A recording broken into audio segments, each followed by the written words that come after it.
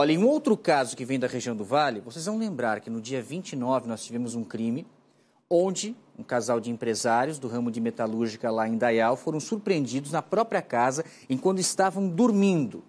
E depois a Polícia Civil descobriu que quem planejou, arquitetou o crime foi o próprio filho, que tirou a vida do pai e a mãe ficou internada durante vários dias em estado grave na UTI.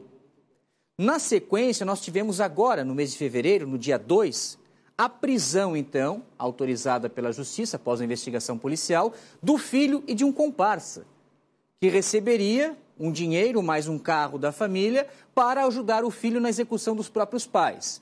E a nossa reportagem com a Isabela Dota já havia adiantado a informação que a polícia trabalhava com a suspeita de um envolvimento de uma terceira pessoa e que foi confirmada essa participação. A terceira pessoa envolvida no crime era a namorada do amigo que aceitou dinheiro para tirar a vida do casal junto com o próprio filho.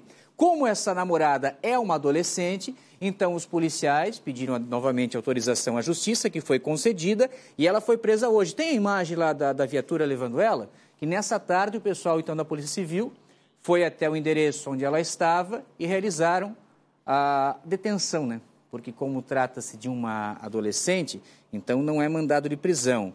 É um mandado de cumprimento de apreensão da adolescente, que foi encaminhada ao CASEP e ficará então à disposição da Justiça. Prisão foi feita nessa tarde, ela está dentro dessa viatura da Polícia Civil, que então levou essa adolescente. Filho preso, o amigo do filho que participou do crime e agora a namorada, que teria auxiliado no planejamento tanto da execução do crime como também no envolvimento nessa história toda. Caso elucidado pela investigação da Polícia Civil, é trabalho lá de Indaial.